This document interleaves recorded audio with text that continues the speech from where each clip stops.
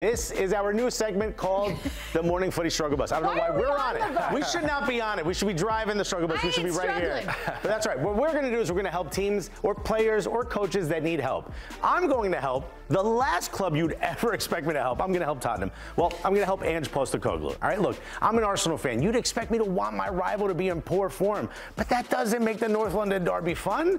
I want to see Conor McGregor fight, yeah, but I don't want to see Conor McGregor fight Nico Cantor. No, that's what he looks like when he's not even fighting. You know what I mean? Look, I'm gonna fix three things, Ange. All right, first. I'm gonna fix your stubbornness. Ange, sometimes you gotta tweak the game plan, man. In that Brighton game, you were up 2 0, and then Brighton smacks you with goal after goal after goal. Just when you thought it was over, it's like another one. Jeez, it must have felt like Kyle Walker buying Christmas gifts for his kids. Bro, homie gotta be like, another one? How many do I got?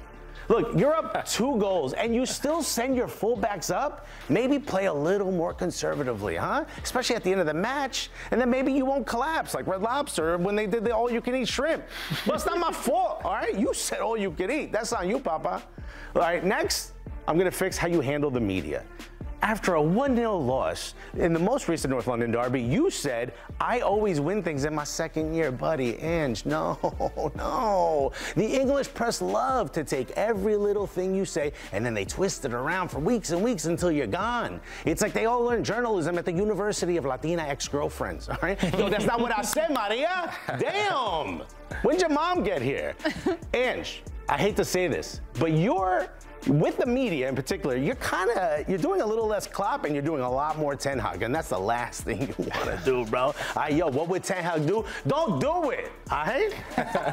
and finally, the last thing is the set pieces, buddy. Maybe it's the set pieces after all, all right? You give up more set piece goals last year than Everton had points deducted for overspending.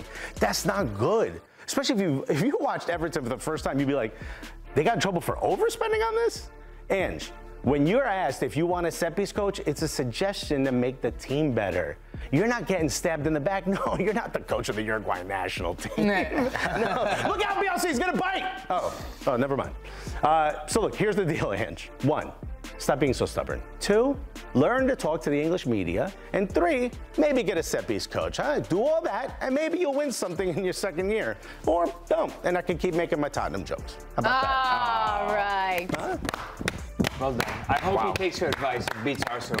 you think so? Yeah. It's not gonna happen. Maybe it's maybe it's 15th Here year. we go. Uh, Give him hell. Brian. All right, Give that's gonna hell. be that's gonna be difficult to follow up. I can't up. believe you showed Nico Stein. it's, it's one of my favorite one of my favorite moments on the show. That's gonna be really difficult to follow up, but I'm gonna try my best. So my struggle bus is a team that's top of one of the biggest clubs in Europe. Let's just say that Bayern Zibaya, Munich.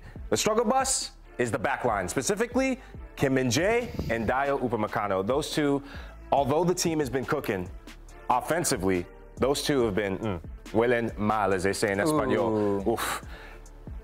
You look at what they do in terms of problems at the back, and my biggest one is number one, they're too disconnected. And Kim Min Jae, this was a player that was the best defender on that Napoli side that won the Scudetto. He was the best defender in Italy, and that season I thought he was the best defender in all of world football. What's happened? It's because he's partnered with the wrong guy. If you're Kim Min Jae, get back to what makes you so good, which is stop being so aggressive to step out be more conservative and learn and to play with the strengths of Dayot Upamecano. Dayot Upamecano, Nico, you had mentioned that he's not your favorite defender. think he's a little bit rash. He's, he's erratic. So Kim Min Jae, be that calming factor and calming force next to a player. You can be that guy, but next to a player who's up and down.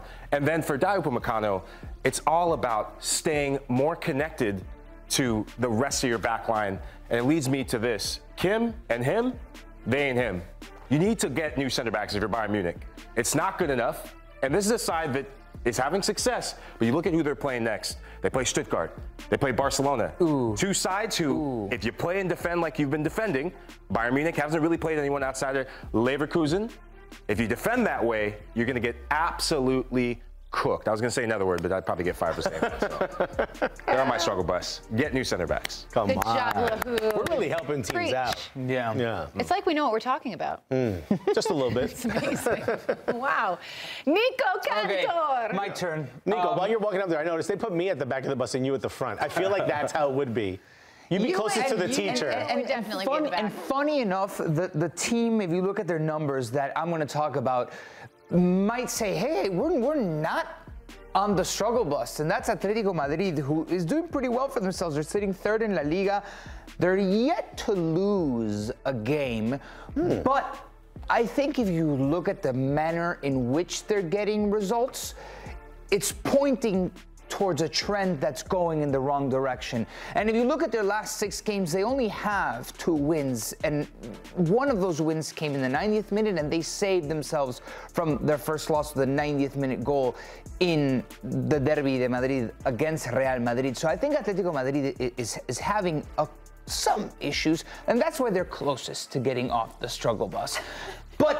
Cholo Simeone is yet to find his team, his ideal 11. He is constantly switching. So take this international break, Cholo, por favor, to find out who your best 11 is. We've had a couple of trial runs already, but there's big games coming up, and losing to Benfica in the Champions League 4 0 is not good. And there's big changes.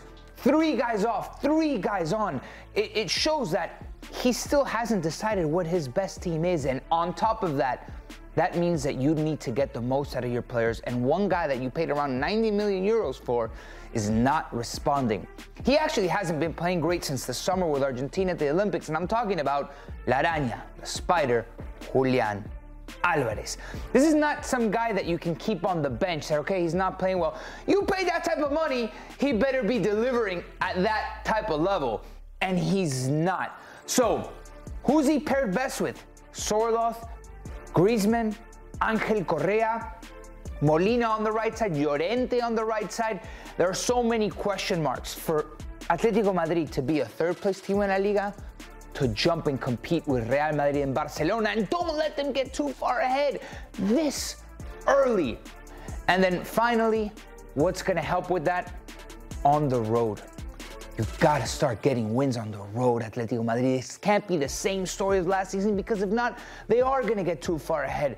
Atletico, uh, Barcelona, and Real Madrid. You can't lose 4-0 against Benfica in the Champions League, and there's going to be more important road games coming up.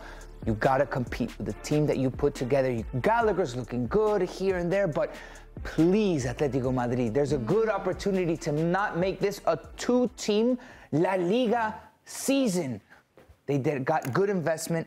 They're right there. We were so excited They're about right there. them. No, no, I'm still excited, but they're right there. Also good being paused. Oh, that was great. That's They- good. Yeah, thanks. They That can't- was they Can't good. get, they can't be on the struggle bus. All right. Suze, Suze heard him, Suze. I did.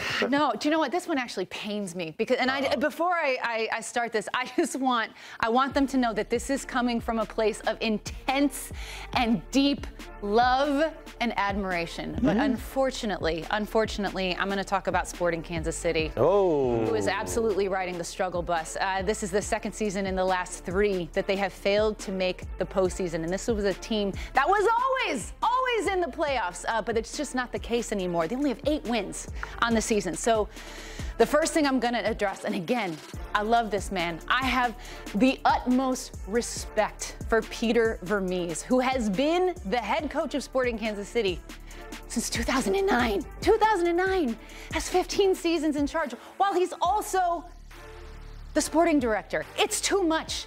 It's too much. Both jobs are too big, and you have a problem right in front of you, a short term problem. You got to focus on that or the long term. It can't be both at the same time. And also, it is just time for a fresh voice. I think that this team, especially, is in need of a new, fresh voice because it's just been too long. It's been too long. I again, I respect everything he's done. He won four trophies with them, four conference titles. But again, take a step back. Let some new blood in. They've got Benny Feilhaber, who is a club legend, waiting in the wings. He is coaching their second team right now. Maybe he can reinvigorate these guys. I'm just saying, it's time. It's time, Peter. Okay, next up, we got to get a younger roster. We got to get a younger roster on Sporting Kansas City. Alan Pulido, Johnny Russell, Erik Thommy, Andreu Fontàs, Tim Melia, Nemanja Radoja, both of their center backs. Everybody is over the age of 30. The years are catching up to him. And you know I love Johnny Russell. He's like my favorite MLS player ever. But the years are just catching up to these guys. And Alan Pulido, yes, he had a fantastic comeback season last year. He only has seven goals this season. They haven't had a goal scorer in double digits in two of the last three seasons. And for me, that's something. That's a problem. They've got two DP spots that are open right now. I need that scouting department to get to work and find some young, exciting talent to put on the pitch. And finally, and this is the X factor. You need to reestablish your identity. As I mentioned, this was a team that was a perennial playoff threat. They were always in the hunt for trophies. At one point, they made eight consecutive postseasons. And again, this is the second season in three that they're not going to be playing postseason soccer. So this is a team that just needs to refocus and remember who they were, competing for U.S. Open Cup trophies, competing for MLS. Uh, they've only won six games at home. Children's Mercy Park, one of my favorite venues in all of MLS. It used to be a fortress. It used to be a, a, place where other opposing teams were, were terrified to go into, and you were just so happy to even get a point there. And it's not the case anymore. They have seven losses at home. You need mm. to hmm. make that place a fortress once again. You need to reestablish that identity, that winning identity. I believe you can do it, but those are my those are my three my three factors. Not bad. Sporting Kansas City, I love you. All right. Who's most on the struggle bus? Ooh. Ooh. Look at that, look at us as so, the drivers looking back. I mean, the two Bayern center backs after the week that they've had, they're definitely in the front seat. Also, what is Kim Min Jae doing on the bus, bro? Same, same defending he was doing. Yeah. the same thing. This foot up. I think Kim Min Jae just yelled "Showtime" for anyone who's ever been on a New York City subway. You, you know what the thing with the Kim Min Jae Upamecano partnership that I don't get mm. is that Kim Min Jae at Napoli, he was the one that ventured forward. He was a center back that liked to have those excursions, yeah. but and none of the guys are like the patrol, the the Virgil Van Dijk that own. Well, mm-hmm. I, I'm I think I'm shocked at most because Vincent Kompany was a center back.